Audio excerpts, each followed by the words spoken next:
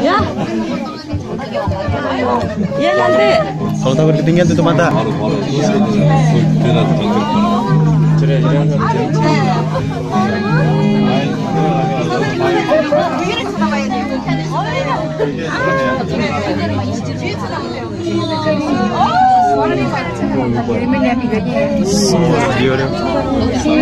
videonya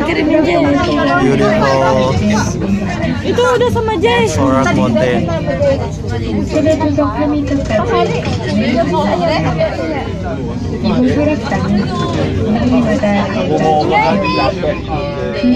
itu udah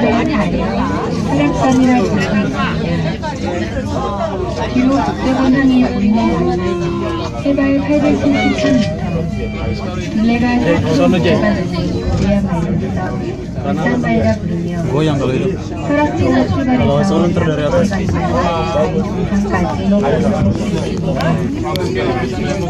Putihnya tuh Jay.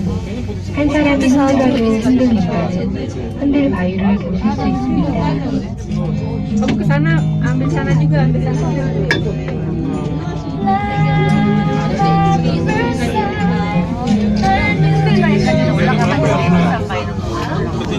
창밖을 보시면 또한 대의 케이블카가 지나가게 됩니다. 내려가는 케이블카는 우리에게 대단히 빠릅니다.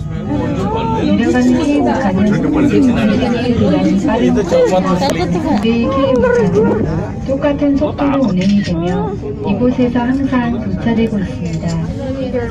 동탄시 원금성은 해발 700m이고 오른쪽 원도 침입을 막고 있는 원시와 김씨 이곳에 성을 쌓았다 하여 검성이라고 부르는 수 있습니다.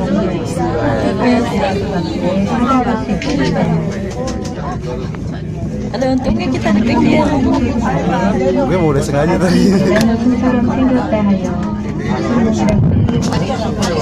이어서 끝까지 펼쳐진 바위는 같이 전통을 펼쳐놓은 것에 하여 경풍바위라 부르고 있습니다.